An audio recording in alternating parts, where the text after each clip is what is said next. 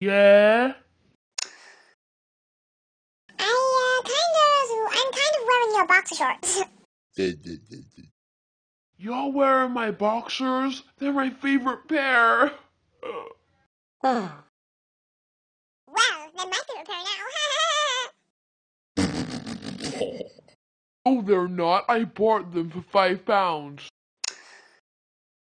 if you want it, come and get it. I will.